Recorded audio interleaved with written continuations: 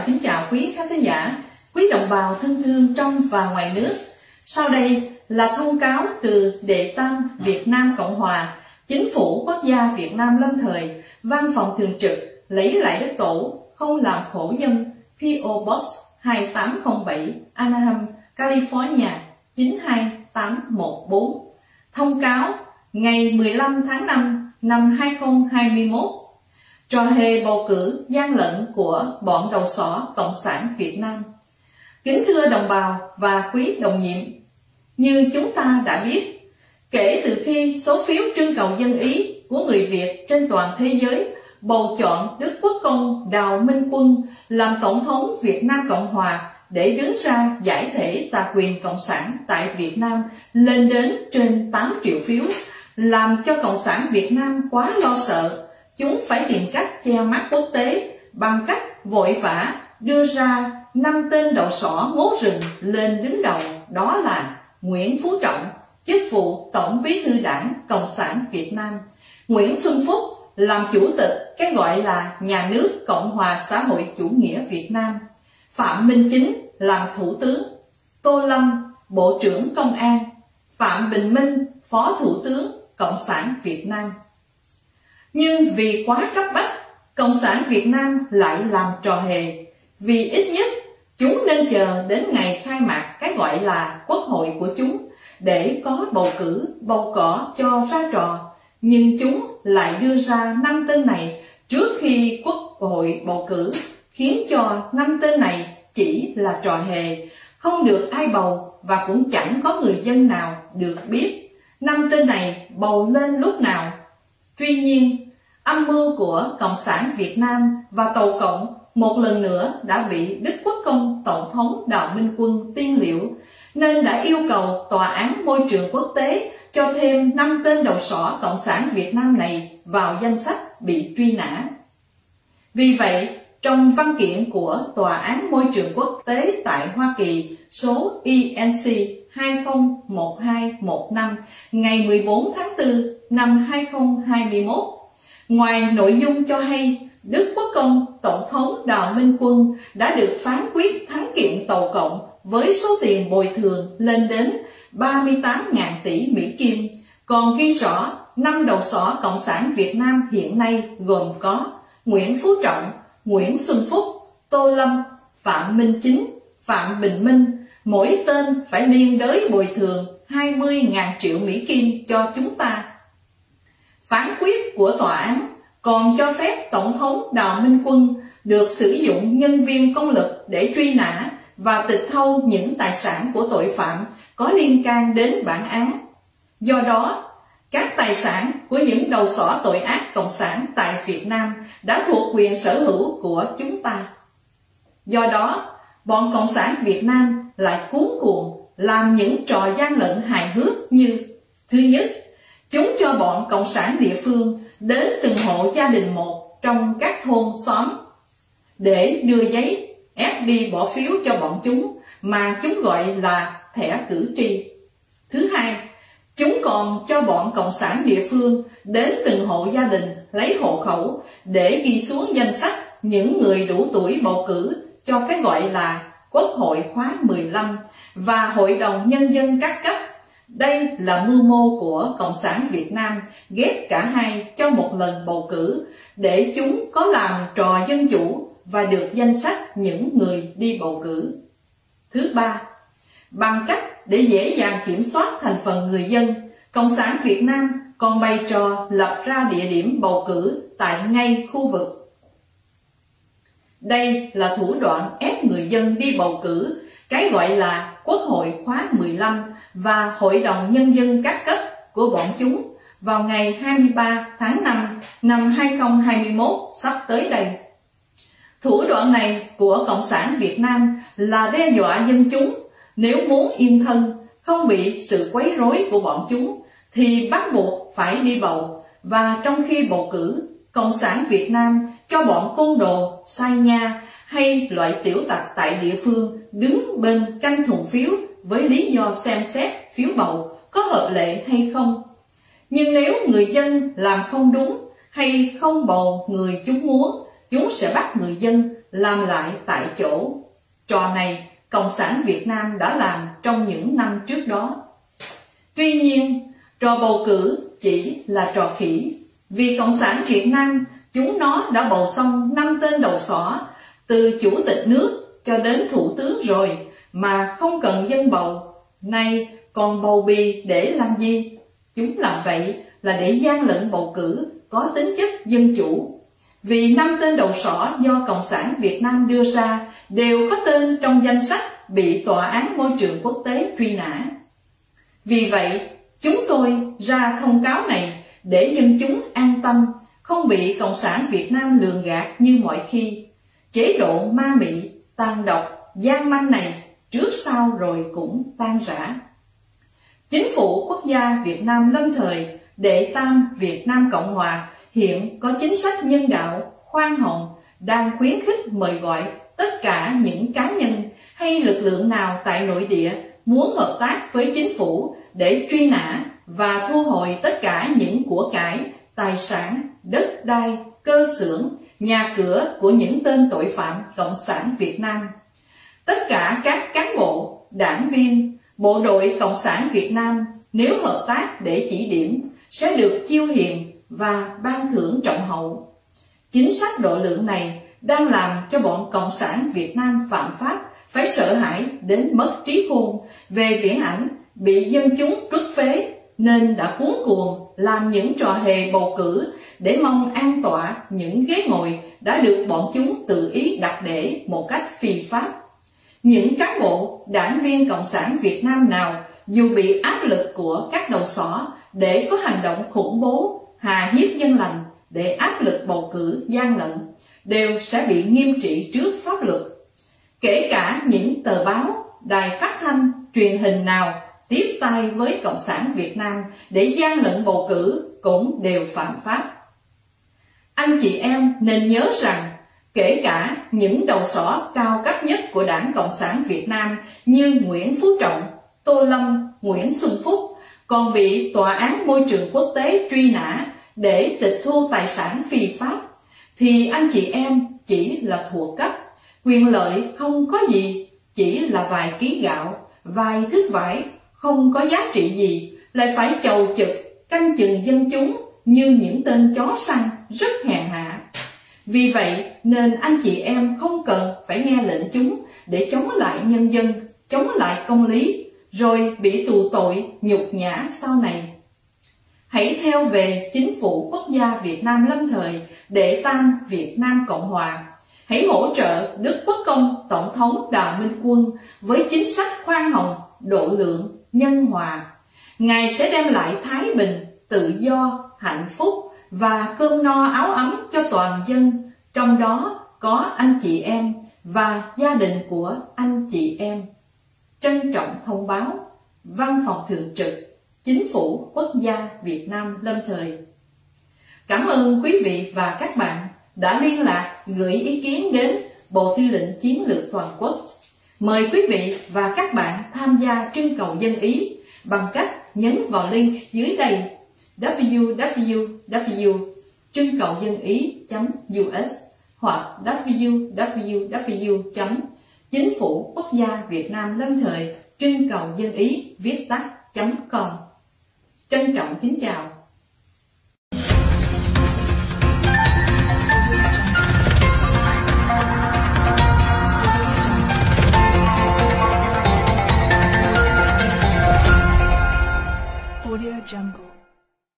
Đỗ tuyết trân trọng kính chào quý khán thính giả, quý đồng bào thân thương trong và ngoài nước.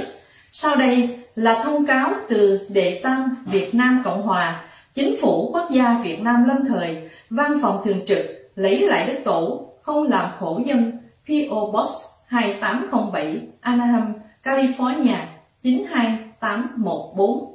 Thông cáo ngày 15 tháng 5 năm 2021 trò hề bầu cử gian lận của bọn đầu sỏ Cộng sản Việt Nam.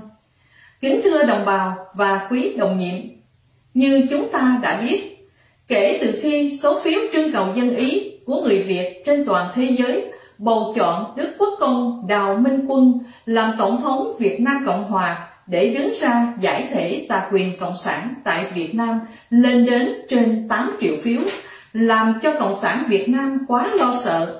Chúng phải tìm cách che mắt quốc tế bằng cách vội vã đưa ra năm tên đầu sỏ ngố rừng lên đứng đầu, đó là Nguyễn Phú Trọng, chức vụ Tổng bí thư đảng Cộng sản Việt Nam, Nguyễn Xuân Phúc làm chủ tịch cái gọi là Nhà nước Cộng hòa xã hội chủ nghĩa Việt Nam, Phạm Minh Chính làm thủ tướng, Tô Lâm, Bộ trưởng Công an, Phạm Bình Minh, Phó Thủ tướng Cộng sản Việt Nam. Nhưng vì quá cấp bách, Cộng sản Việt Nam lại làm trò hề, vì ít nhất Chúng nên chờ đến ngày khai mạc cái gọi là quốc hội của chúng để có bầu cử, bầu cỏ cho ra trò. Nhưng chúng lại đưa ra năm tên này trước khi quốc hội bầu cử, khiến cho năm tên này chỉ là trò hề, không được ai bầu và cũng chẳng có người dân nào được biết năm tên này bầu lên lúc nào. Tuy nhiên, âm mưu của Cộng sản Việt Nam và Tàu Cộng một lần nữa đã bị Đức Quốc công Tổng thống Đào Minh Quân tiên liệu, nên đã yêu cầu Tòa án Môi trường Quốc tế cho thêm 5 tên đầu sỏ Cộng sản Việt Nam này vào danh sách bị truy nã.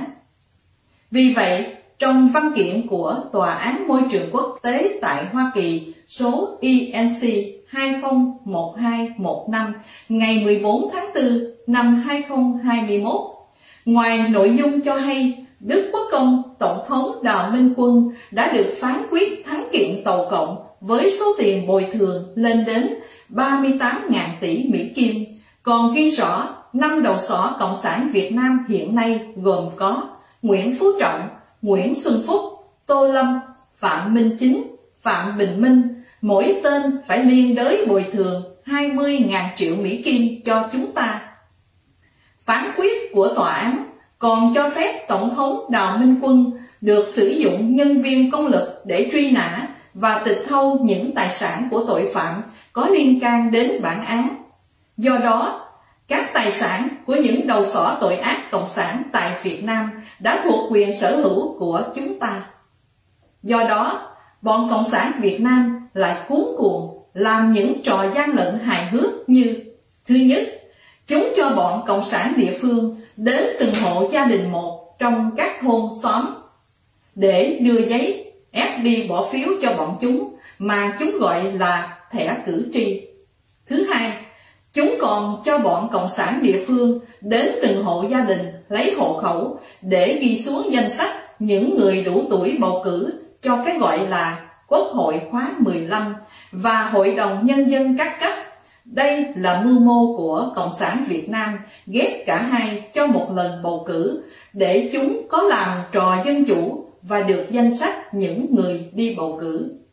Thứ ba, bằng cách để dễ dàng kiểm soát thành phần người dân, Cộng sản Việt Nam còn bày trò lập ra địa điểm bầu cử tại ngay khu vực đây là thủ đoạn ép người dân đi bầu cử, cái gọi là Quốc hội khóa 15 và Hội đồng Nhân dân các cấp của bọn chúng vào ngày 23 tháng 5 năm 2021 sắp tới đây. Thủ đoạn này của Cộng sản Việt Nam là đe dọa dân chúng, nếu muốn yên thân, không bị sự quấy rối của bọn chúng, thì bắt buộc phải đi bầu, và trong khi bầu cử Cộng sản Việt Nam cho bọn côn đồ, sai nha hay loại tiểu tặc tại địa phương đứng bên canh thùng phiếu với lý do xem xét phiếu bầu có hợp lệ hay không. Nhưng nếu người dân làm không đúng hay không bầu người chúng muốn, chúng sẽ bắt người dân làm lại tại chỗ. Trò này Cộng sản Việt Nam đã làm trong những năm trước đó. Tuy nhiên, trò bầu cử chỉ là trò khỉ vì Cộng sản Việt Nam, chúng nó đã bầu xong năm tên đầu sỏ, từ chủ tịch nước cho đến thủ tướng rồi, mà không cần dân bầu. Nay còn bầu bì để làm gì? Chúng làm vậy là để gian lận bầu cử có tính chất dân chủ. Vì năm tên đầu sỏ do Cộng sản Việt Nam đưa ra đều có tên trong danh sách bị Tòa án Môi trường Quốc tế truy nã. Vì vậy, chúng tôi ra thông cáo này để dân chúng an tâm, không bị Cộng sản Việt Nam lường gạt như mọi khi. Chế độ ma mị, tàn độc, gian manh này trước sau rồi cũng tan rã. Chính phủ quốc gia Việt Nam lâm thời đệ tam Việt Nam Cộng Hòa hiện có chính sách nhân đạo, khoan hồng, đang khuyến khích mời gọi tất cả những cá nhân hay lực lượng nào tại nội địa muốn hợp tác với chính phủ để truy nã và thu hồi tất cả những của cải, tài sản, đất đai, cơ xưởng, nhà cửa của những tên tội phạm Cộng sản Việt Nam. Tất cả các cán bộ, đảng viên, bộ đội Cộng sản Việt Nam nếu hợp tác để chỉ điểm sẽ được chiêu hiền và ban thưởng trọng hậu. Chính sách độ lượng này đang làm cho bọn Cộng sản Việt Nam phạm pháp phải sợ hãi đến mất trí khôn về viễn ảnh bị dân chúng trút phế nên đã cuốn cuồng làm những trò hề bầu cử để mong an tọa những ghế ngồi đã được bọn chúng tự ý đặt để một cách phi pháp. Những cán bộ, đảng viên Cộng sản Việt Nam nào dù bị áp lực của các đầu sỏ để có hành động khủng bố, hà hiếp dân lành để áp lực bầu cử gian lận, đều sẽ bị nghiêm trị trước pháp luật. Kể cả những tờ báo, đài phát thanh, truyền hình nào tiếp tay với Cộng sản Việt Nam để gian lận bầu cử cũng đều phạm pháp. Anh chị em nên nhớ rằng, kể cả những đầu sỏ cao cấp nhất của Đảng Cộng sản Việt Nam như Nguyễn Phú Trọng, Tô Lâm, Nguyễn Xuân Phúc còn bị Tòa án Môi trường Quốc tế truy nã để tịch thu tài sản phi pháp, thì anh chị em chỉ là thuộc cấp, quyền lợi không có gì, chỉ là vài ký gạo, vài thước vải không có giá trị gì, lại phải chầu trực, canh chừng dân chúng như những tên chó săn rất hèn hạ. Vì vậy nên anh chị em không cần phải nghe lệnh chúng để chống lại nhân dân, chống lại công lý, rồi bị tù tội, nhục nhã sau này.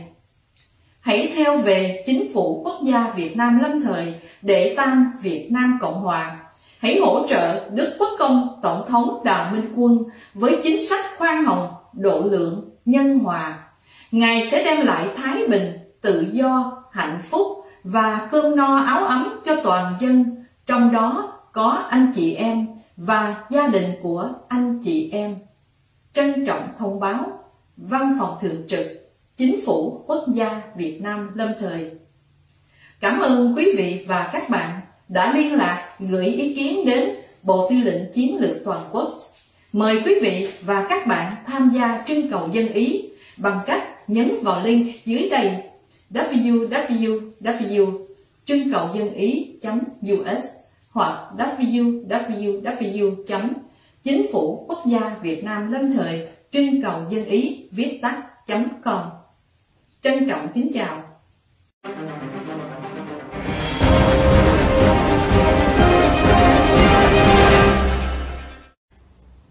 Chúng tôi, Thiếu tướng Kim Huỳnh, trân trọng kính chào Đức Quốc công Đào Minh Quân, Tổng thống Việt Nam Cộng hòa Đề Tam, kính chào quý Bộ Tư lệnh Chiến lược Toàn quốc, quý thành viên, đồng nhiệm cùng đồng bào Việt Nam thân thương trong và ngoài nước.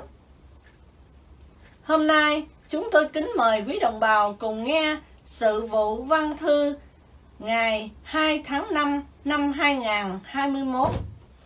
Đệ Tam Việt Nam Cộng Hòa, Chính phủ Quốc gia Việt Nam lâm thời, Bộ Tư lệnh Chiến lược Toàn quốc, lấy lại đất tổ, không làm khổ dân, PO Box 2807, Anaheim, California 92814.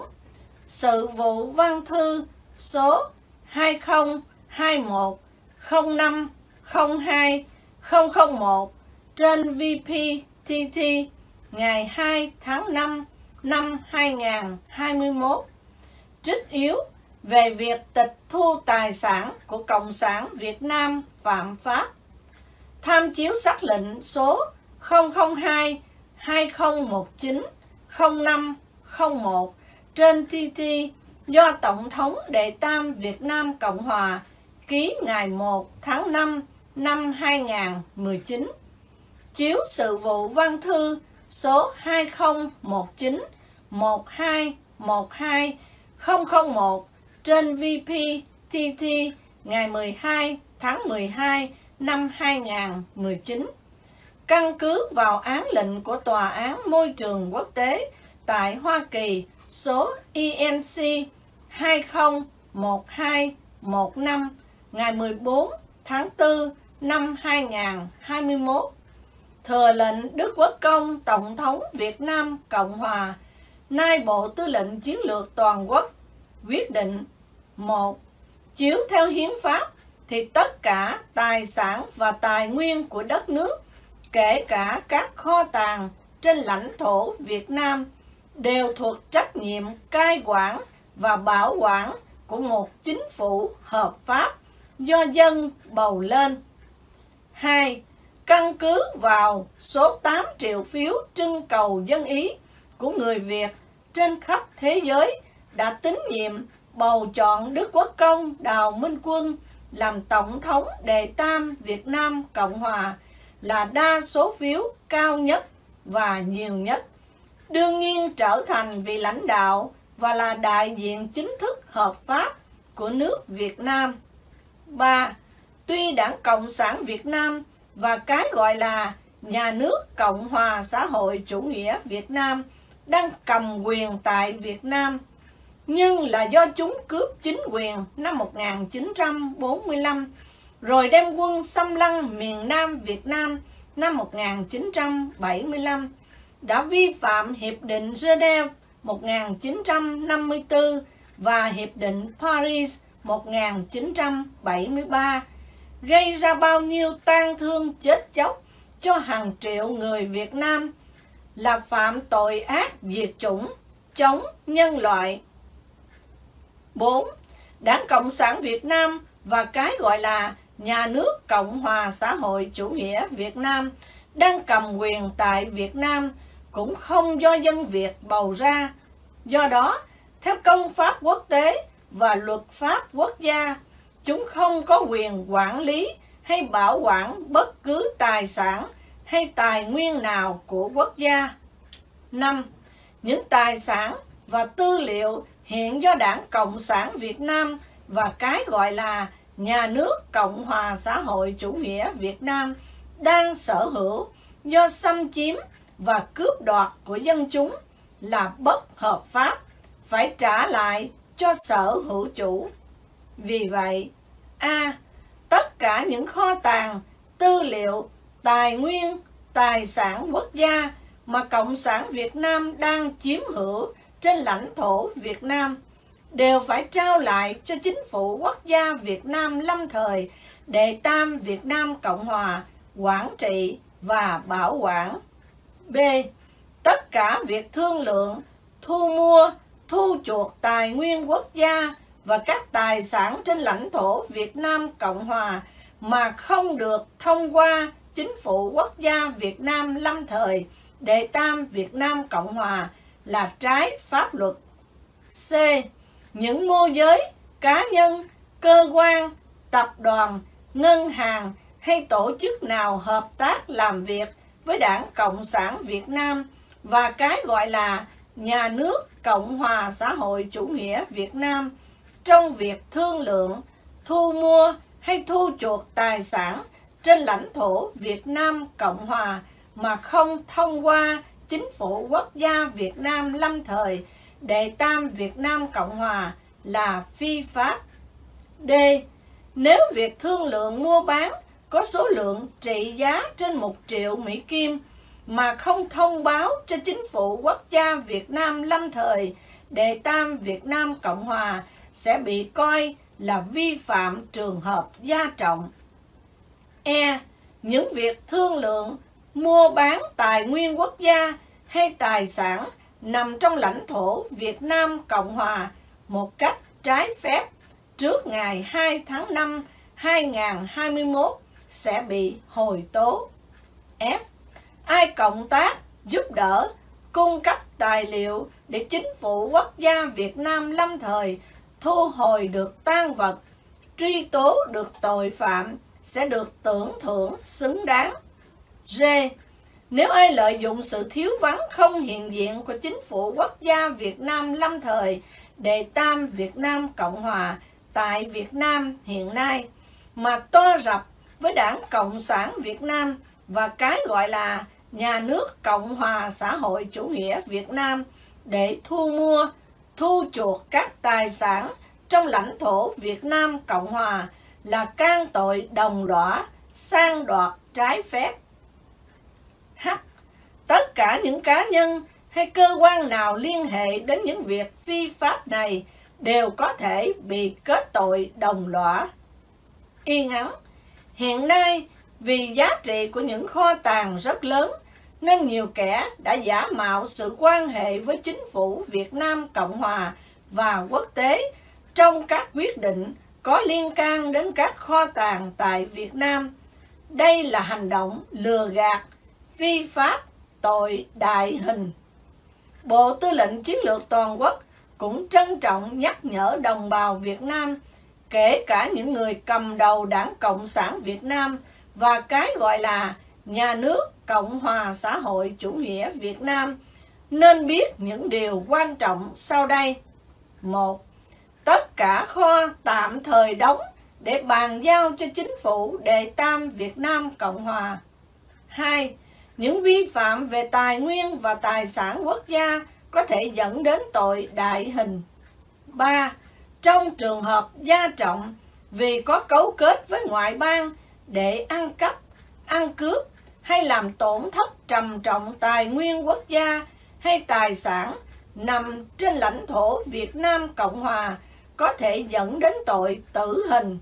Những ai liên can có thể bị xét xử tội đồng lõa. 4. Dựa theo phán quyết của Tòa án Môi trường Quốc tế thì các đầu sỏ Cộng sản Việt Nam phạm pháp đều phải bồi thường cho Đức Quốc Công Đào Minh Quân mỗi người là 20 tỷ Mỹ Kim. Do đó, chính phủ quốc gia Việt Nam lâm thời đề tam Việt Nam Cộng Hòa đang tìm cách thu lại tất cả tài sản mà những tên này đang có để trả nợ theo án lệnh của tòa. 5. Vì việc thu lại tài sản của những đầu sỏ Cộng sản Việt Nam phạm pháp không thể diễn ra mau chóng. Do đó, chúng sẽ tìm cách phân chia cho thân nhân, con cháu hay tai sai để giấu giếm. Do đó, những ai tiếp tay cho bọn đầu sỏ Cộng sản Việt Nam tẩu tán tài vật phạm pháp đều can tội đồng lõa, sẽ bị nghiêm trị trước pháp luật. Nay Bộ Tư lệnh Chiến lược Toàn quốc đưa ra sự vụ văn thư này, yêu cầu các cơ quan thông tin của chính phủ quốc gia Việt Nam lâm thời phổ biến để ngăn ngừa trường hợp những ai bị truy tố hay truy nã vì tội xâm phạm tài nguyên và tài sản quốc gia sẽ không vịnh lý do chưa biết các tin tức đã được loan tải. Trân trọng công bố Bộ Tư lệnh Chiến lược Toàn quốc, Chính phủ Quốc gia Việt Nam lâm thời, Đệ Tam Việt Nam Cộng Hòa. Cảm ơn quý vị và các bạn đã liên lạc gửi ý kiến đến Bộ Tư lệnh Chiến lược Toàn quốc. Mời quý vị và các bạn tham gia trưng cầu dân ý bằng cách nhấn vào link dưới đây.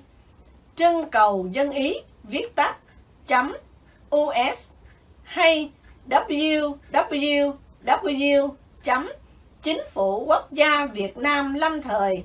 Trưng cầu dân ý, viết tắt, chấm com. Kính cảm ơn tất cả quý vị đã lắng nghe. Kính chúc quý vị được nhiều sức khỏe và bình an, trân trọng. Kính chào.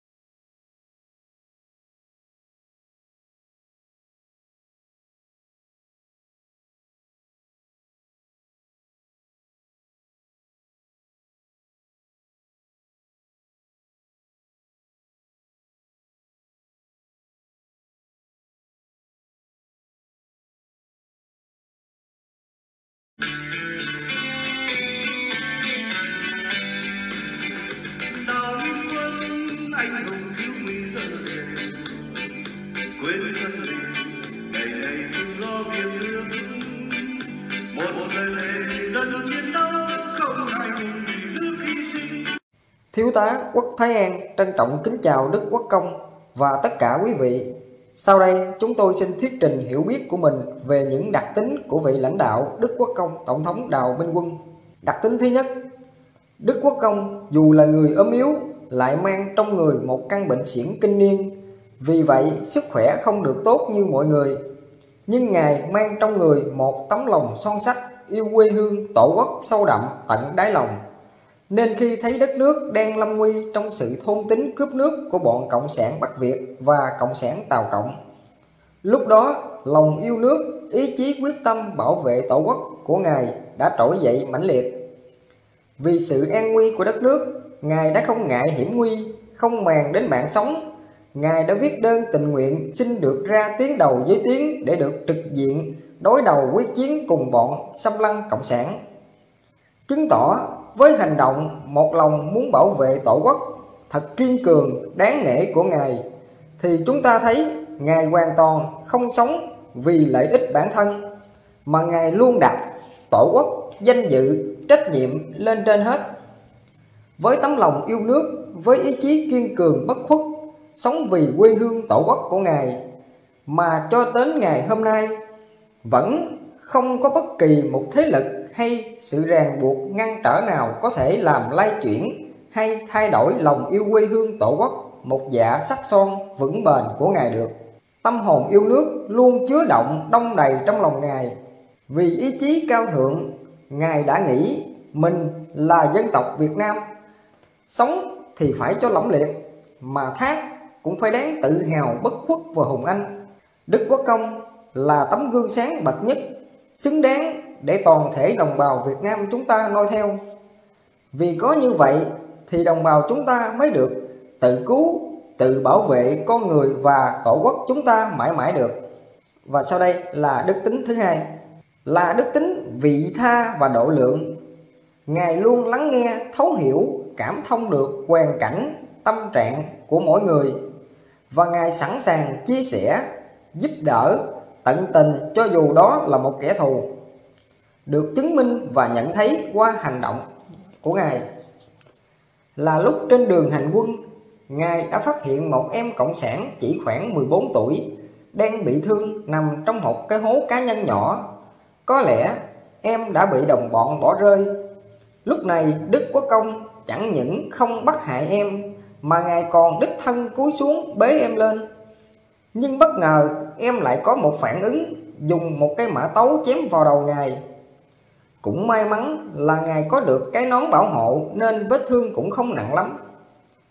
Trong tình thế này, có lẽ với mọi người thì em nhỏ này đã bị ăn một viên đạn vào đầu. Nhưng đối với Đức Quốc Công thì Ngài đã không nghĩ như vậy, mà Ngài đã tận tình bế em lên lau vết thương, còn nhờ thuộc cấp mình phải tận tình chữa trị. Vì Đức Quốc Công, Ngài thấu hiểu được hoàn cảnh và tâm trạng của em. Ngài nghĩ em còn quá nhỏ mà phải cầm súng ra chiến trường và có thể em chưa từng được đi học. Và chỉ vì em còn thiếu nhận thức, chưa thể phân biệt được đâu là những việc làm đúng hay sai. Và có thể bản thân em cũng chẳng biết mình đang phải chiến đấu vì ai và vì mục đích gì. Và có lẽ em không được đến trường đi học nên kiến thức còn quá hạn hẹp. Nên đã bị bọn cộng sản dụ dỗ, lường gạt, nhồi sọ. Và cũng có thể em bị cộng sản đàn áp gia đình buộc em phải ra chiến trường làm bia đỡ đạn, làm vật thế thân cho chúng. Nên chẳng những Đức Quốc Công không bắt hại em mà Ngài còn cảm thấy thương em nhiều hơn nữa. Nói về Cộng sản Việt Nam thì đồng bào chúng ta có ai đã từng đặt câu hỏi là tại sao? Sau ngày 30 tháng 4 năm 1975, có cả hàng ngàn thương phế binh Việt Nam Cộng Hòa còn phía bên Cộng sản, những tên thương binh chỉ đếm được trên đầu ngón tay. Đồng bào có biết tại sao không? Đơn giản là bọn Cộng sản chúng nó đã thủ tiêu tất cả những tên Cộng sản nào bị thương tật, đã không còn giá trị lợi dụng. Cộng sản với những ý nghĩ và hành động giả tâm của chúng, chúng không muốn bỏ ra vật chất hay công sức gì để chăm lo chữa trị cho họ vì họ chỉ là vật thế thân, là công cụ để đám cộng sản lợi dụng mà thôi. Kính thưa đồng bào, với đức tính vị tha, nhân đạo, cảm thông của Đức Quốc Công được ví như những đức tính của những Đức Phật lúc còn tại thế đi quá độ, giải thoát và cứu rỗi cho chúng sanh. Mà chúng sanh ở đây là tất cả đồng bào Việt Nam thân yêu trên toàn thế giới của chúng ta đó quý vị à. Và tiếp theo, tiếp theo sau đây là đặc tính thứ 8 Là đức tính buông bỏ và luôn tha thứ với lòng khoan hồng độ lượng Kính thưa đồng bào Bấy lâu Cộng sản luôn đàn áp cai trị khát máu lên đồng bào chúng ta Và cũng bởi tên Hồ Chí Minh là một hán gian tào cộng Hắn chỉ giả danh là người Việt Nam Giả danh Nguyễn Ái Quốc để mỹ dân lường gạt đồng bào. Đó cũng là âm mưu của Cộng sản Tàu Cộng, muốn dùng tên Hồ Chí Minh này để cướp đất nước và hủy diệt con người Việt Nam chúng ta mà thôi. Đức Quốc Công thấu hiểu được đồng bào mình quá ngộ nhận, cũng như tất cả các vị công an, bộ đội, đảng viên Cộng sản. Vì lầm tin vào tên Hán Giang Hồ Chí Minh này mà mắc phải mưu hèn kế bẩn của hắn. Hắn dùng lòng tham của quý vị cho quý vị mù quáng lầm đường lạc lối mà tự sát hại đồng bào mình. Quý vị đã gây ra biết bao là tội lỗi, tan thương khốc liệt cho đồng bào. Cũng bởi vì mù quáng lầm tin tên Hán Giang Hồ Chí Minh này. Thưa quý vị, không có gì là quá trễ. Chỉ cần trong lòng chúng ta còn có lương tâm, còn có tính người. Đức Quốc Công đã từng dạy cho chúng ta câu nói Quay đầu là bờ Thì hôm nay với đức tính khoan hồng và độ lượng Luôn buông bỏ và tha thứ thật cao cả của Đức Quốc Công Tổng thống Đào Minh Quân Ngài đã mở ra một con đường sáng với chủ trương bỏ cộng còn việc đường lối việc không giết việc để tạo cơ hội cho tất cả các đảng viên công an, bộ đội cộng sản được cải tà quy chính, quay đầu là bờ, trở về với chính nghĩa, trở về với người dân, trở về với chính phủ quốc gia Việt Nam lâm thời đệ tam Việt Nam Cộng Hòa, cùng chung một lòng bảo vệ gìn giữ quê hương trước giặc tàu ngoại xâm. Ở đức tính luôn buông bỏ khoan hồng độ lượng thì tập đoàn Cộng sản chưa bao giờ và không bao giờ có được. Chứng minh là sau ngày 30 tháng 4 năm 1975, Cộng sản nó luôn truy quét sát hại những người lính Việt Nam Cộng Hòa và cho đến ngày hôm nay, chúng luôn tìm đủ mọi cách để đàn áp, bức hại những đồng bào chân chính, dám đứng ra tố giác những tội ác của chúng. Hành động của chúng giống như một con giả thú, tâm tính như một ác quỷ, cũng khiến cho hàng triệu đồng bào phải bỏ mạng trên đường vượt biên tìm tự do. Còn Đức Quốc Công Tổng thống Đào Minh Quân chẳng những muốn cứu mạng những tên cộng sản này mà Ngài còn tạo thật nhiều những điều kiện thuận lợi cho việc làm ăn sinh sống của họ về sau. Kính thưa đồng bào, Đức Quốc Công chẳng những quan tâm chăm lo những người còn sống mà Ngài còn luôn có lòng tin tưởng ơn trên trời Phật. Luôn nghiêng luôn nghiêng mình trước hồn thiên sông núi, luôn tưởng nhớ tạc dạ ghi lòng công ơn của các bậc tiền nhân anh hùng dựng và giữ nước. Ngài cũng không quên tưởng niệm những vong hồn chiến sĩ Việt Nam Cộng Hòa đã hy sinh bảo vệ Tổ quốc và các vong hồn của những đồng bào đã tử nạn trên đường vượt biên tìm tự do. Ngài đã cho xây dựng bia thờ ngũ vị thần tướng là các tướng sĩ đệ nhị Việt Nam Cộng Hòa đã tự tiết hy sinh, không hề khuất phục trước bọn xâm lăng cộng sản.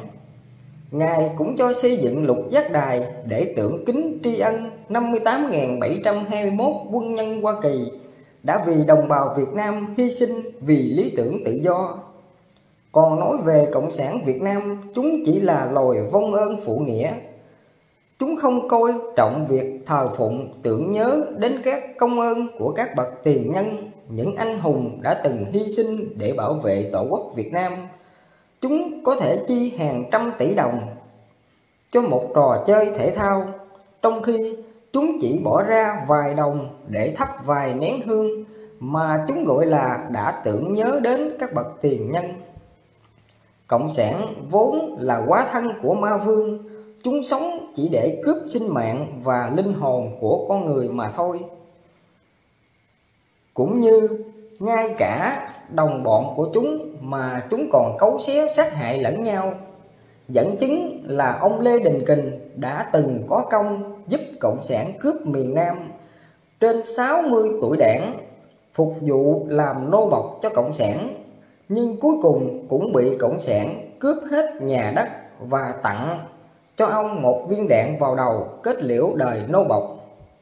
Thì đồng bào cũng đã thấy được kết cuộc khi sống chung với cộng sản không sớm, muộn thì cũng chết dưới tay cộng sản mà thôi kính thưa đồng bào, đức quốc công tổng thống đào minh quân với đức tính khoan hồng độ lượng, luôn tin tưởng ơn trên trời phật, luôn nghĩ cho đồng bào, luôn sống vì tha nhân, như là một vị bồ tát đang quá độ cứu rỗi cho chúng sanh và cũng đang giúp cho tất cả nhân loại thoát khỏi được bàn tay ma phương của tập đoàn Cộng sản.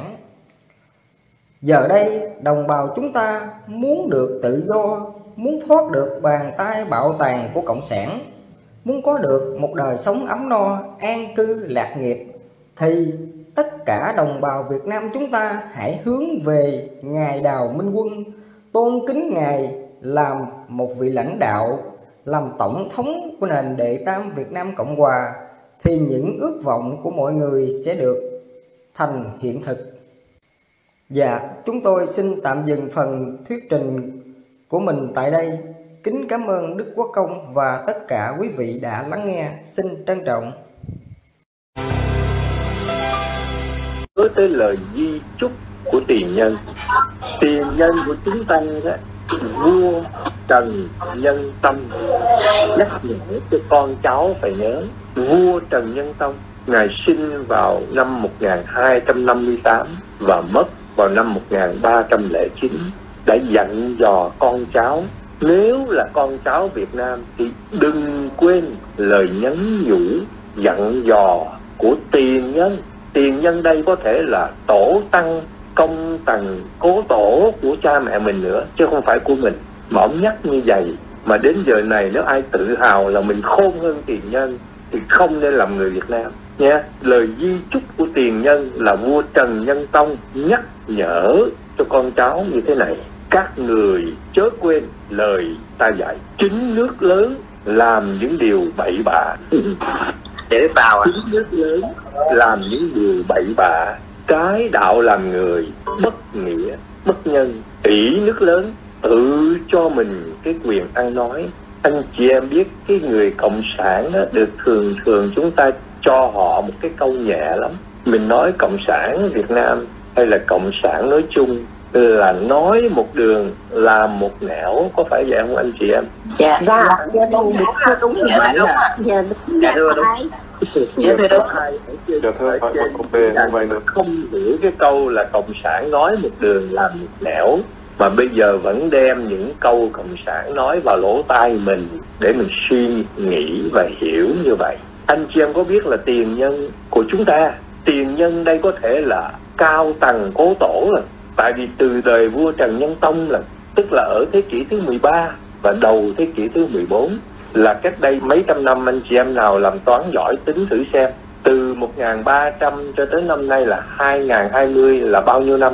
700 là 711 năm nhé. Tức là cuối đời của vua Trần Nhân Tông đó là 1309 tới nay là năm 2020 là 711 năm, tức là hơn 7 thế kỷ. Cho nên chúng ta phải gọi là cao tầng cố tổ chúng ta đó, nhé. Mà có thể gọi là cao tầng cố tổ của cha mẹ chúng ta nữa. Mà ngài nói một câu là cái bọn mà nói một đường làm một nẻo là bọn vô luân.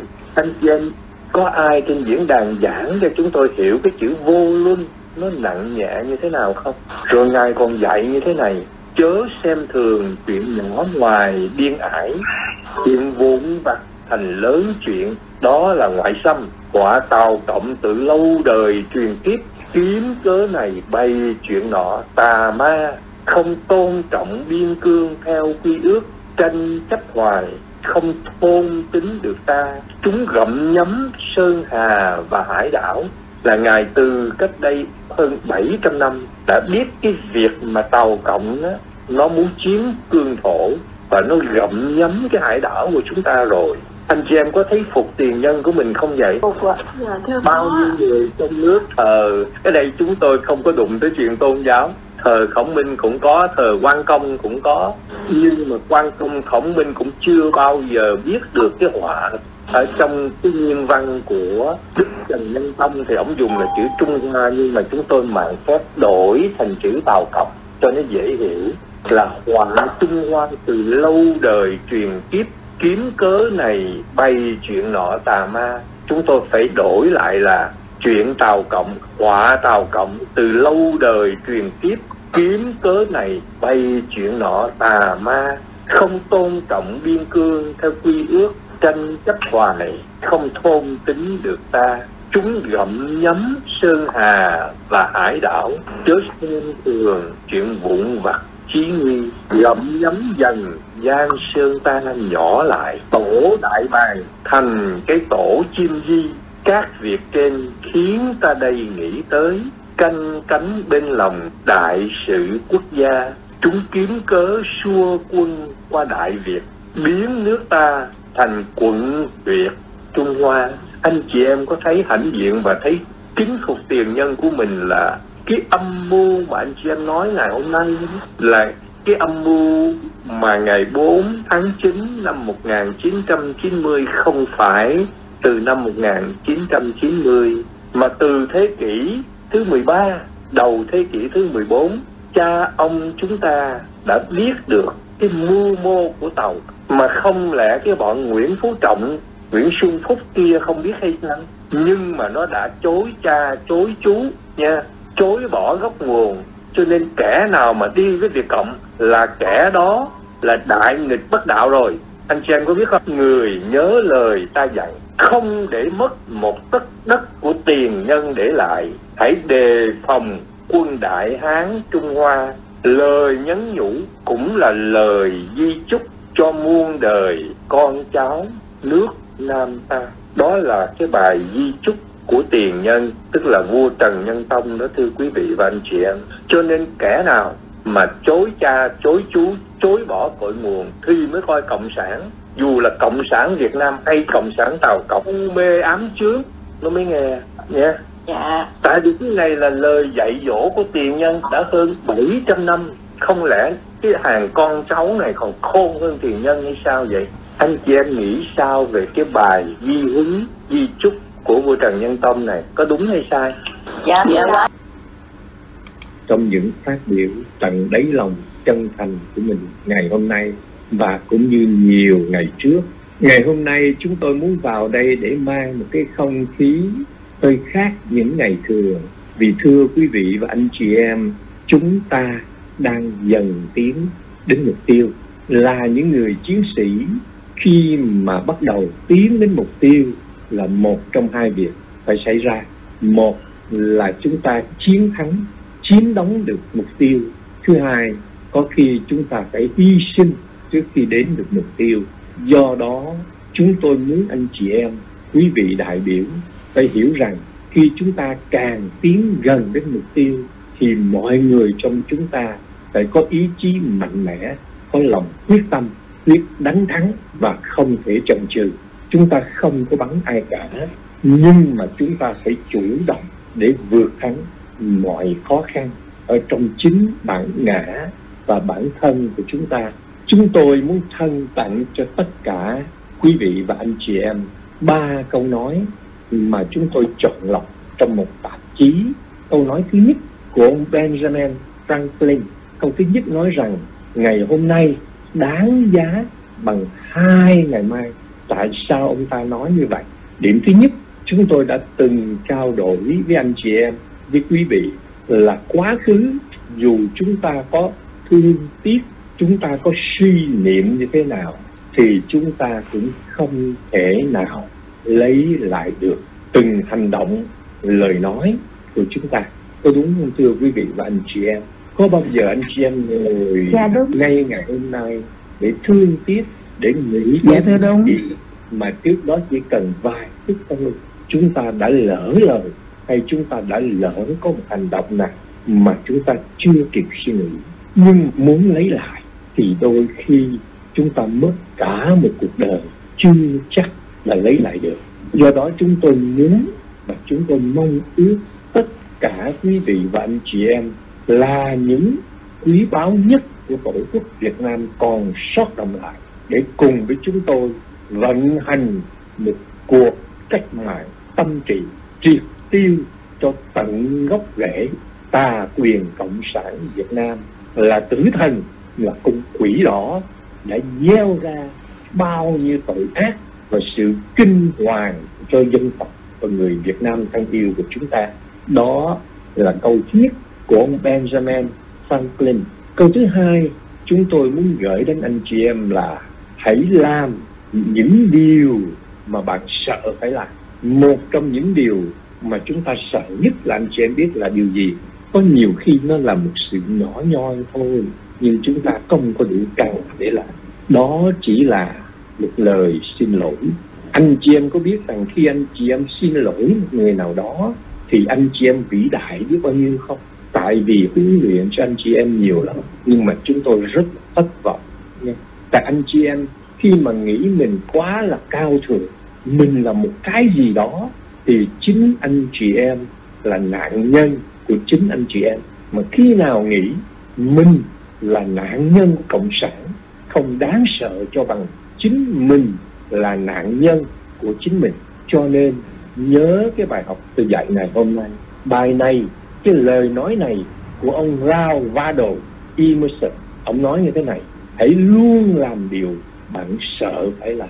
Always do what you are afraid to do. Always, tức là cái gì mà mình sợ phải làm. Cái câu nói đó của Rao Vado Emerson mà một trong những điều đáng sợ nhất là không dám nói tiếng xin lỗi anh chị em có biết là cộng sản Việt Nam cho tới giờ phút này chúng tôi nghĩ tới lúc mà những đầu sỏ cộng sản Việt Nam được đưa lên dàn máy chém chưa chắc chúng nó đã biết nói cái từ xin lỗi đồng bào Việt Nam. Có đúng không thưa quý vị và anh chúng ta gieo biết bao nhiêu là tan thương đau khổ chết chóc tù tội nhục nhã cho người dân Việt Nam. Nhưng một chữ xin lỗi chúng nó cũng không biết. Đó là khi một số người Mỹ hỏi ý kiến chúng tôi về những tên đầu sỏ cộng sản, thì chúng tôi nói họ một câu đơn giản thôi. Chúng tôi nói rằng chủ trương của chính phủ quốc gia Việt Nam lâm thời là bỏ cộng còn Việt, mà người Việt và người Việt không bao giờ hận thù trên với lẫn nhau mà muốn bỏ cộng để làm việc thì tối thiểu cộng sản phải biết cúi đầu nhận tội trước toàn dân Việt Nam chứ đừng có tới giờ phút này mà vẫn ống hách vẫn kiêu ngạo, vẫn tưởng rằng tất cả toàn dân Việt Nam chỉ là loài gỗ đá để cho chúng nó muốn đánh đập gì cũng được, muốn đập nát cũng được, muốn dựng lên biết bao nhiêu câu chuyện oan ức và oan uổng cho cả trăm triệu người Việt Nam mà một lời xin lỗi còn chưa biết nói. Cho nên chúng tôi muốn nói kể cả các tướng lãnh cao cấp trong chính phủ quốc gia Việt Nam lâm thời mà không biết nói lời xin lỗi thì đừng trách chúng tôi có biện pháp rất mạnh mẽ. Vì chúng tôi nghĩ rằng trong chính phủ này là một lò huấn luyện có hai cái bài học. Bài học thứ nhất là phải biết buông bỏ. Có đúng thưa quý vị và anh chị em bài đó khó lắm.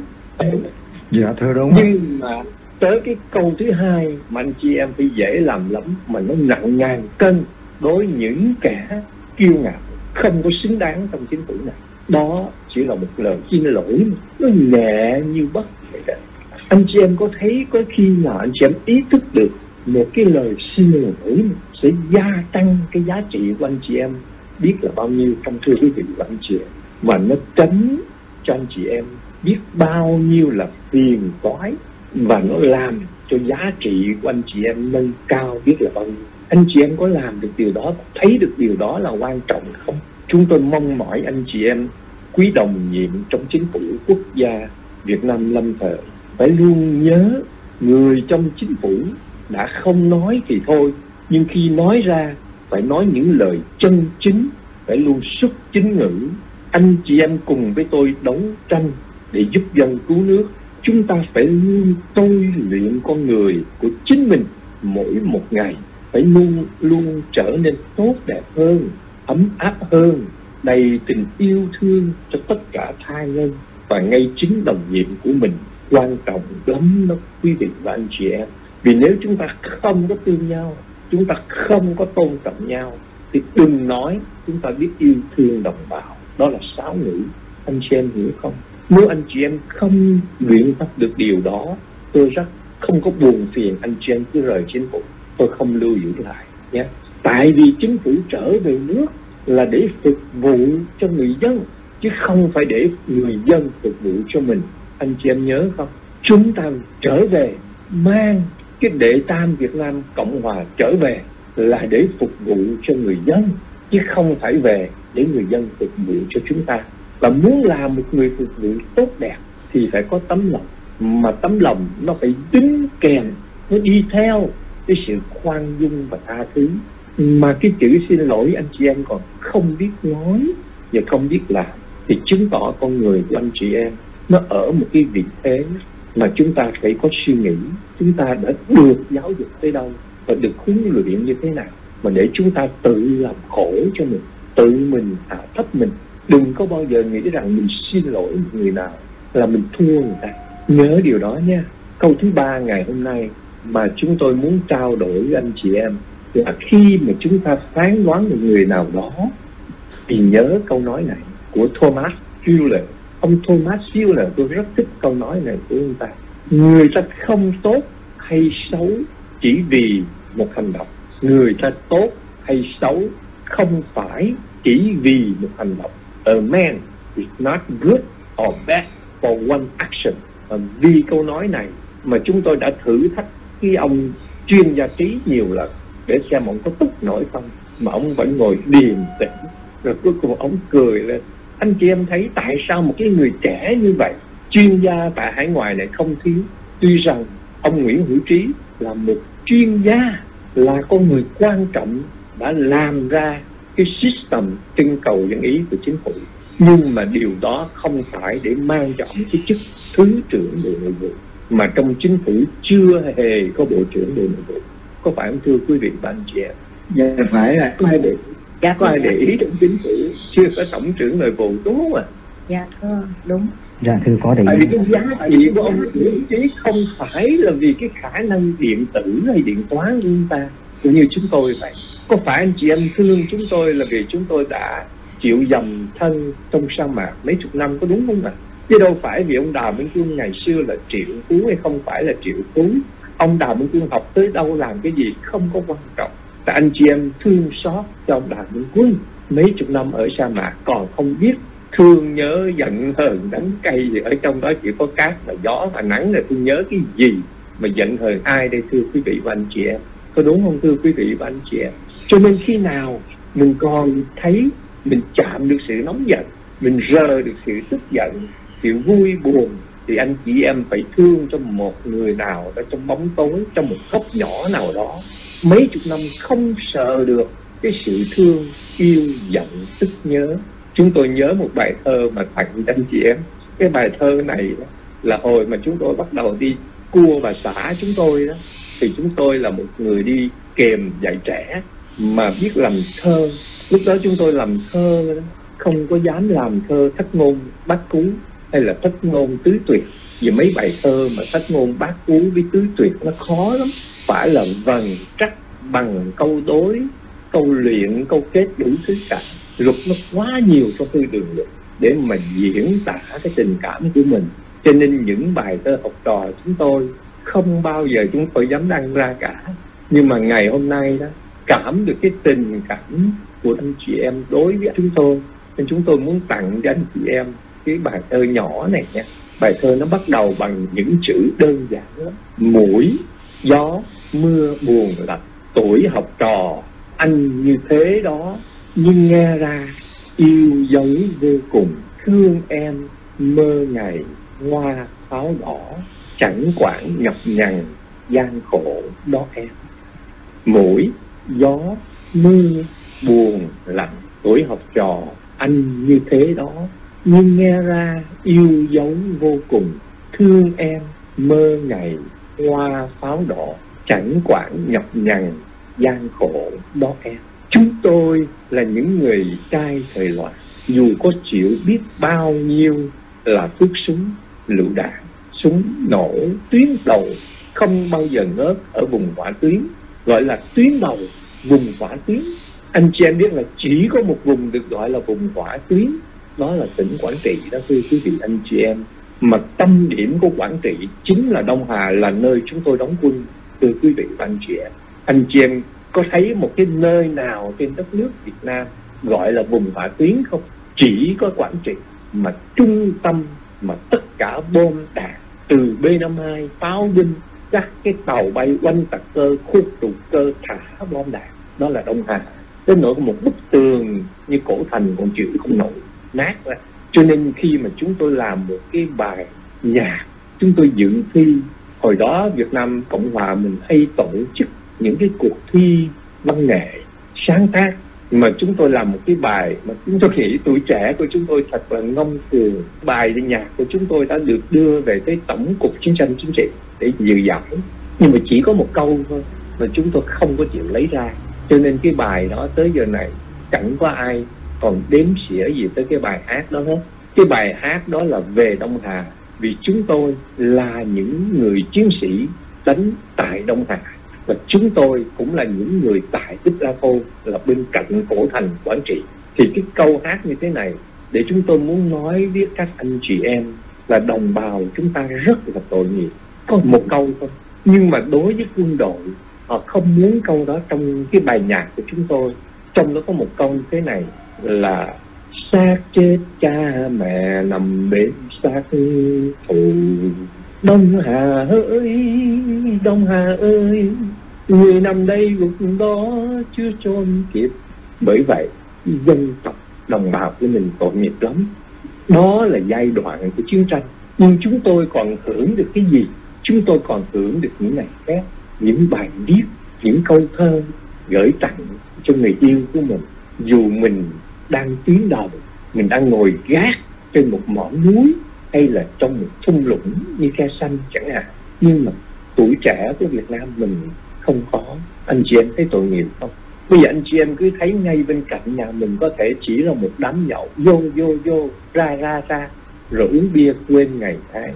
Anh chị em có thể nào tìm được những mối tình lãng mạn, những câu thơ yêu đương thật sự xuất phát từ tấm lòng của anh chị em, trao cho người yêu của mình không? Tôi nghĩ chưa chắc có. Có thể anh chị em đã sống thế hệ già như chúng tôi thì có thể có, nhưng tiếc thay, các thế hệ trẻ, các em, các cháu của mình không có được những giây phút đó. Cho nên những ai mà chưa cảm thấy rung động bằng sự thông cảm và yêu thương, thấu hiểu được đồng bào của mình thì không nên tham gia chính phủ. Tại vì chúng tôi với một cái hoài bão là muốn đem lại những cái gì hạnh phúc nhất cho đồng bào Việt Nam. Mà khó lắm khó lắm. Nếu chúng ta không diệt được cái tà, cái ác, thì người dân Việt Nam của chúng ta không bao giờ có được hạnh phúc, có được sự yên bình thật sự. Khi mà cái tà, cái ác vẫn còn đó. Mà tà ác là đâu? Chính là cái bọn cầm quyền cộng sản Việt Nam do sự điều khiển của tập cộng cho nên anh chị em phải cố gắng trầm tĩnh, suy nghĩ thật kỹ khi tham gia chính phủ. Tại tham gia chính phủ là chúng tôi đi tới tận đường như hồi nãy. Chúng tôi có nghe một ông đại tá nói rằng ông nhất định đi cho tới cùng. Quý vị và anh chị em có biết là cái ông đại tá đó bị chúng tôi la biết bao nhiêu trận không vậy? Chúng tôi nghĩ có lẽ ngày xưa mà khi ông ta đi lính, ông là một trong chiến sĩ của lực lượng biệt kích lực lượng đặc biệt của Việt Nam Cộng Hòa. Mà ông sống bao nhiêu năm ở đó, chưa chắc bằng tuần lễ ông ta sống ở tuần nghĩa đường. Uống gì ông ta sống hai, ba năm ở tù nghĩa đường. Thì anh chị em biết, chúng tôi đã la. Anh em dùng chữ la nhưng mà tôi thì không thích dùng chữ la. Chúng tôi hướng nhục, chúng tôi hướng từ một người muốn trở về phục vụ cho người dân, thì người đó phải chịu đựng những gian khổ. Chứ không phải mình trở về Việt Nam để tìm những phút minh hoa quý quý mà chúng ta tìm con đường về để chính thức phục vụ cho đồng bào thân yêu của chúng ta. Thì chúng ta phải bỏ cái sự kiêu ngạo, chúng ta phải bỏ những cái tôi đáng ghét. Anh chị em có quyền giữ lại những cái tôi không đáng ghét. Anh chị em biết cái tôi nào thì không đáng ghét không? Ví dụ như những giọt nước mắt của anh chị em, đó là những cái tôi mà không thấy đáng ghét chút nào cả nhớ nha đào minh quân anh hùng cứu nguy dân quên thân mình ngày ngày tự lo việc nước Chúng tôi A0151 xin trân trọng kính chào Đức Quốc Công, Tổng thống Bảo Minh Quân và quý vị. Hôm nay, chúng tôi xin chuyển đến quý vị tiểu sử Đức Quốc Công, Tổng thống Bảo Minh Quân, được nhà báo quốc tế Caroline Smith giới thiệu trên Old Living ngày 28 tháng 4 năm 2021. Practicing Righteousness Introducing Đào Minh Quân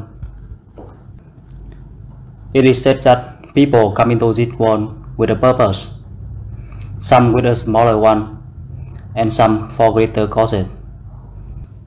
But these purposes need to be identified by the person at the right time so that they can take appropriate actions to fulfill them.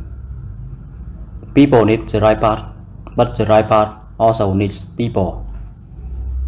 Agreeing with the quote, not all people are meant to achieve greater things in life. Dedication, passion, diligence, hard work, and fearlessness are required by a person to obtain all they have dreamed of, especially a higher purpose. Sơ Đào Minh Quân, the President and the Grand Duke of the Third Republic of Vietnam, is one of those prime personalities. He listened to his true calling at the right time and has successfully achieved a noble cause. The right man hardship that people in their most vulnerable states. Some come out strong, whereas others give up under pressure. But the ones who put on a brave face and handle all the tough times are the real heroes. These lion-hearted people have the potential to achieve anything they are determined of and do anything they have set their focus on. Such is the case of President Minh Quân. President Minh Quân work has been recently covered by different news platforms online and on TV. Negatively, his goal of liberating Vietnam and making it a democratic country has been brought him under a bad impression. Growing up in a democratic country, the United States of America, Quân always was close to his roots. Although away from his country, he kept himself updated on all the news and happenings in Vietnam. As he lived in a liberal life in the state, he wished that his country's people experienced the same too. It was a burning desire in his heart that he could not extinguish. He was so driven by the cause to bring happiness to his country's people that he joined various Vietnamese patriotic organizations. Sir Minh was endowed with intelligence. Every move and action of his resulted in success, from business and to active participation in political campaigns and movements. He was acing throughout. Soon, Đào Minh Quân became a prominent person in the Vietnamese community and in the United States business community, as he frequently traveled to different countries like Australia, Canada, France, Germany, Switzerland, among others. He had the opportunity to interact with many business and international politicians and influencer personalities. America recognized him for his merit in serving the community. He was invited to host committee for the Republican Party in 1990, a rare position. Since his intentions were clear and pure, he was recognized by politicians globally for his heart, desire, and intention to dissolve communism and save Vietnam. Everything good comes at a price. One can never achieve something until they sacrifice something of equal value. Similarly, Sir Quân had to sacrifice his peace to brighten the lives of the people of his country. His effort to liberate Vietnam was signified as terrorist activities by the national and international media alike. He was labeled as a man who incited terrorism and distorted the undertakings of the policies of Vietnam. But he did not let these rumors overwhelm him. Sir Minh Quân is a man of vision. The goal of setting his country free from the realms of the government had long been set, and he was on the right path to make it come true. He kept moving forward with a high spirit which has resulted in the position he has gained today. At present, there's no other Vietnamese politician with such remarkable international influence. Slow and steady always wins the race. Sir Đào Minh progress was slow but steady, although he and his political organization were under negative speculations. He never gave up and kept performing and promoting democracy. He could feel the need for it from his country's people, and it was only him who could help his people be free of the communist hands. He was voted and approved by the Vietnamese people globally, especially in Vietnam. With close to 8 million votes, they voted in a free and voluntary spirit through a referendum on the global digital electronic system.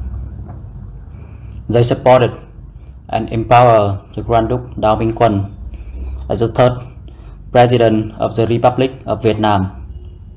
He represented the entire Vietnamese population to lead the country and dissolve the Vietnamese Communist Party in Vietnam. The bad part about all of this is that the referendum is increasing significantly with each passing minute. So, after much hard work, sleepless nights, and rainless days, he was accepted and inaugurated on November 11, 2018 in Adelanto, California. As an extraordinary politician, he taught people not to worry about material things, but practice spirituality as Vietnam is rich with treasure and resources. He says, if you are rich without cultivating, even if your property is big as a mountain, that will not bring you any merit. He has also instructed government officials to bring proper morals to serve the people and not govern them. He believes to be spiritually and morally healthy. All about President Đào Minh Sir Quân was born on September 16, 1952 in Thị Nghè village in the province of Gia Đình in southern Vietnam. The slide down. His family did not support the idea of communism too. So they moved to Los Angeles in 1980. He completed his studies at the San Diego Community College in Orange, California. He studies computer programming, computer IBM compatible, and graduated in just 3.5 months. During this time, he worked on the BIOS basic I.O. system, which is a part of the brain of the computer, and founded Clonmaster Inc. and the Computer Inc. Before entering politics, he worked at the system group as a computer programmer, then at Mazawan and System Control Inc. as an engineer, and finally at Advanced Digital Corp as a technical manager. His political involvement started in 1971 when he first joined the military, and since then, it has been a journey uphill. He led the foundation of his political party, Republic of Vietnam the Third, on November 11, 2018. Although he was under speculations by the media who portray him negatively, he never deviated from his aim and still working to free Vietnam from the chains of communism. Đào Minh Quân, người thực thi chính nghĩa, ngày 28 tháng 4 năm 2021, do Caroline Smith. Người ta nói rằng mọi người đến thế giới này với một mục đích, một số vì mục đích nhỏ hơn và một số vì những mục đích lớn lao hơn.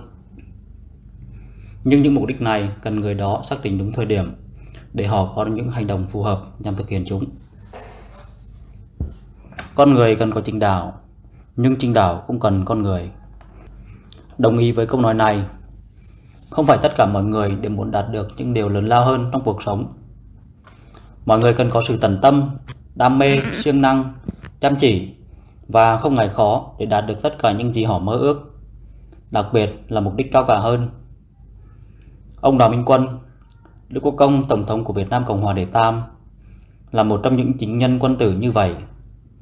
Ông đã lắng nghe tiếng gọi thực sự của mình vào đúng thời điểm và đã thành công đạt thành chính nghĩa cao cả. Chính nhân quân tử Những gian khổ sẽ thử nghiệm con người khi ở trạng thái dễ bị tổn thương nhất của họ.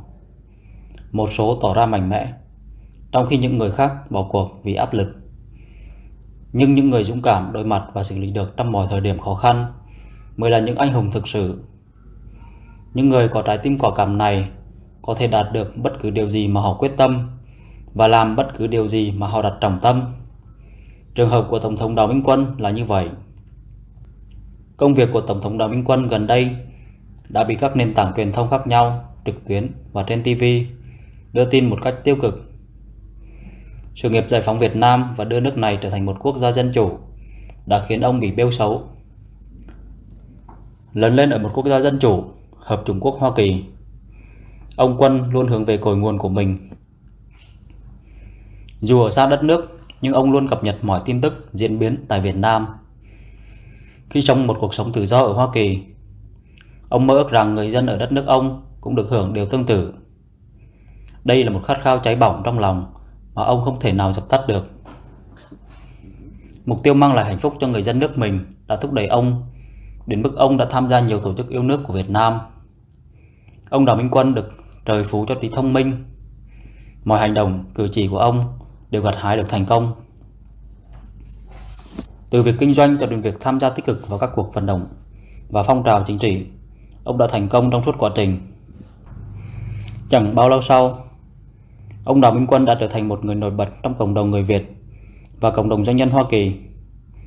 Do thường xuyên đi đến các quốc gia khác nhau như Úc, Canada, Pháp, Đức, Thụy Sĩ, nên ông có cơ hội tiếp xúc với nhiều doanh nhân và chính trị gia quốc tế và những nhân vật có tầm ảnh hưởng. Nước Mỹ ghi nhận ông vì công lao phục vụ cộng đồng. Ông được mời làm thành viên chủ nhân của Đảng Cộng Hòa vào năm 1990, một vị trí hiếm có.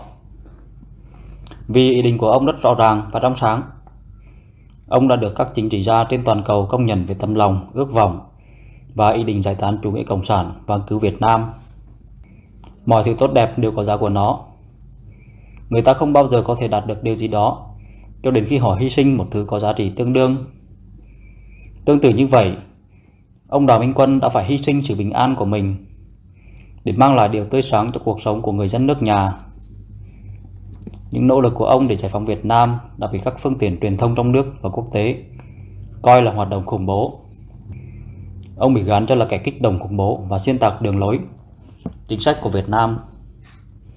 Nhưng ông không để những tin đồn này lấn át mình. Ông Đào Minh Quân là người có tầm nhìn xa.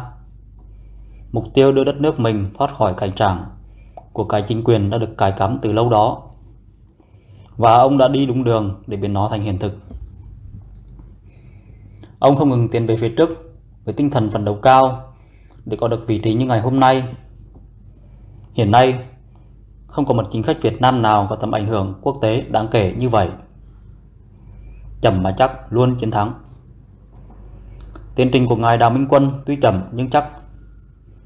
Mặc dù ông và tổ chức chính trị của mình đang bị đồn đoán tiêu cực, nhưng ông không bao giờ từ bỏ và tiếp tục thực hiện và thúc đẩy nền dân chủ.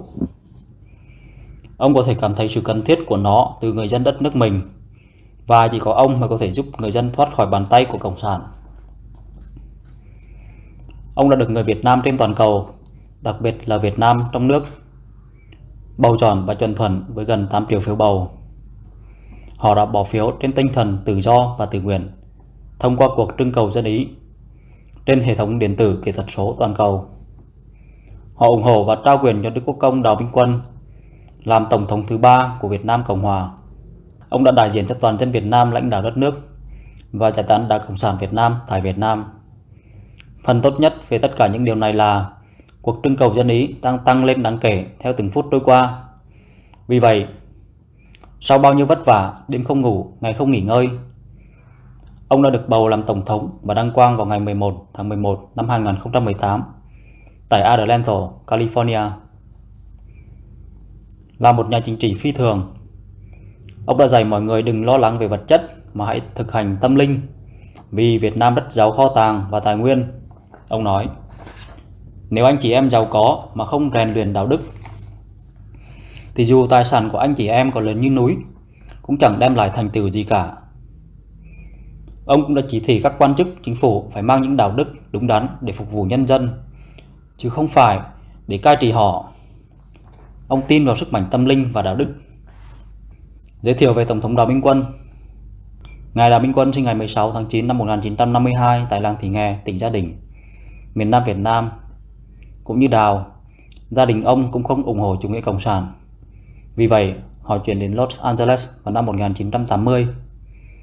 Ông hoàn thành chương trình học tại trường cao đẳng cộng đồng Santiago ở Orange, California. Ông học lập trình máy tính, computer IBM và tốt nghiệp chỉ sau 3,5 tháng. Trong thời gian này, ông đã sáng chế cải tiến BIOS, hệ thống nhập xuất cơ bản, là một phần của bộ não của máy tính và thành lập Clone Master Inc. và Dow Computer Inc.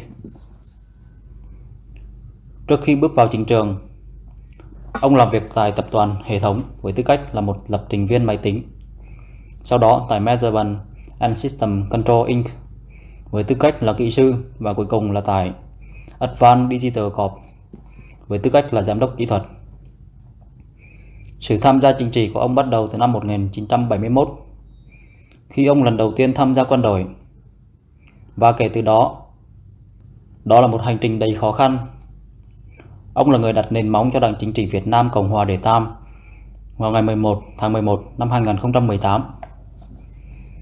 Mặc dù bị giới truyền thông trù dập miêu tả tiêu cực với ông, nhưng ông không bao giờ chệch mục tiêu và vẫn đang nỗ lực để giải phóng Việt Nam khỏi xiềng xích của chủ nghĩa cộng sản. Chúng tôi đã đọc xong bài tiểu sử Đức Quốc Công Tổng thống Bảo Minh Quân, người thực thi chính nghĩa. Trân trọng kính cảm ơn Đức Quốc Công và quý vị đã chú ý lắng nghe. Xin kính mời đồng bào Việt Nam trong và ngoài nước. Chúng ta hãy cất cao ba lời thề son sắt. Dân tộc Việt bất khuất. Cương thổ Việt bất phân.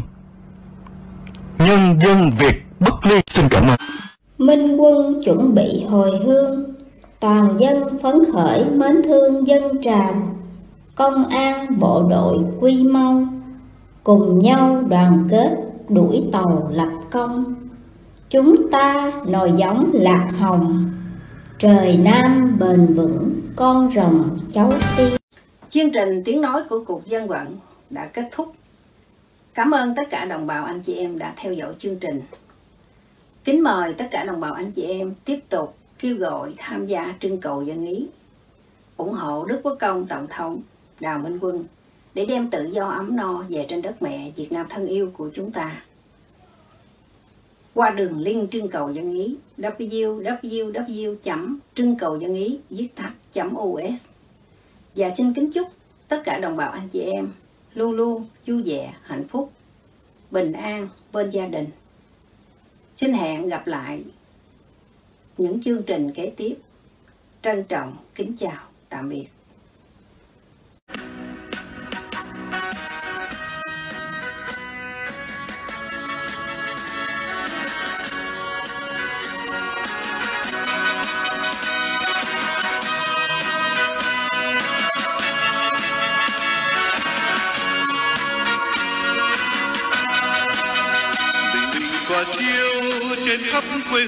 Việt Nam.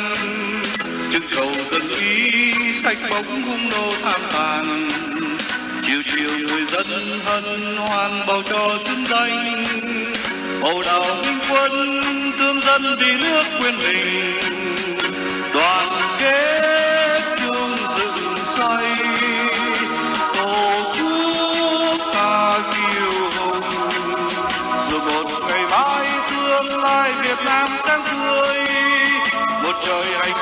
sông thiên đường giữa thế gian.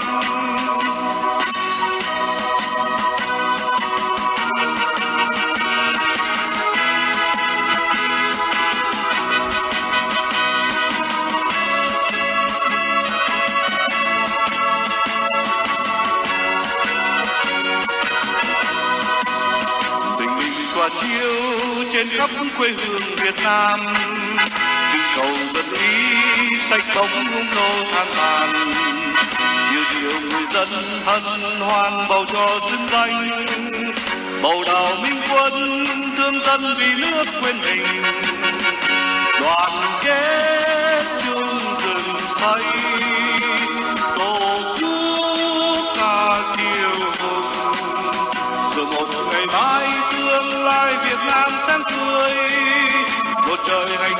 phúc sống trên đường giữa thế gian.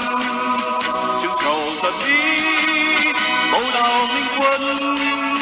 Chừng cầu dần đi, bầu đào minh quân. Chừng cầu dần đi, bầu đào minh quân. Chừng cầu dần đi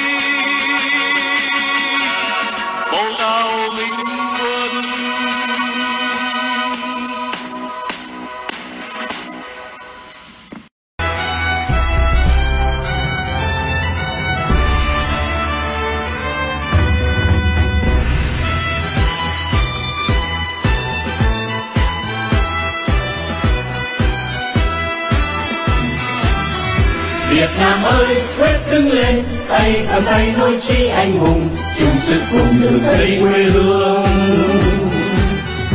Việt Nam ơi tổ quốc ta sao ngài ban lúc trước xuân hà? Sương máu này còn rất tuyết đôi. Đất nước này cha ông xây dựng con cháu cùng gánh vác lưng lưng. Sao nỡ để giặc thù xâm lấn để cùng nhau giành lấy cơ đồ nước này cha ông xây dựng con cháu cùng đánh hát chung lưng sao nỡ để thất thù xâm lấn hãy cùng nhau giành lấy cơ đồ. Bầy công đô, cấu kết nhau, đem Việt Nam dâng hiến cho tàu ôi nước Việt còn chi tương lai. Đồng bào ơi, hãy siết tay lưng từ lưng phá đức xích xiềng, cho nước Việt tự do phú cường.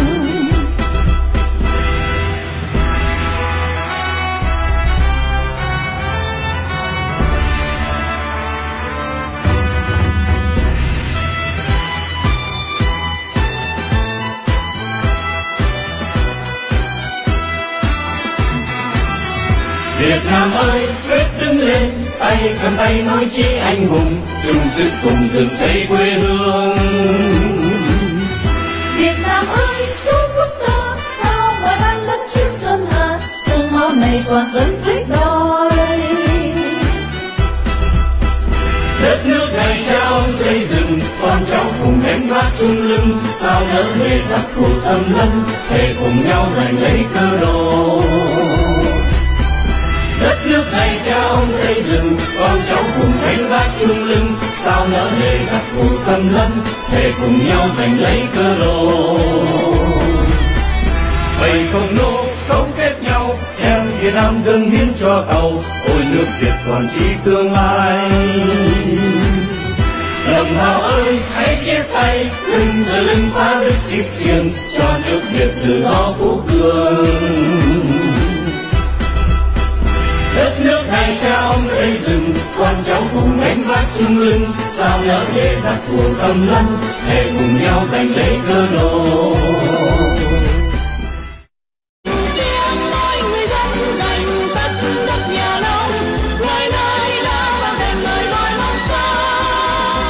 Chuẩn bị cờ quạt cùng chào đón chính phủ cộng hòa trở lại. Trong quê hương Việt Nam và đón một mùa xuân tự do rồi một ngày mai mang tương lai Việt Nam đất nuôi một đời hạnh phúc sống thiên đường vừa cây nam chúng cầu dân đi hậu đào minh quân. Chúng cầu dân đi hậu đào minh quân. Chúng cầu dân đi hậu đào minh quân. Chúng cầu dân ý hậu đào minh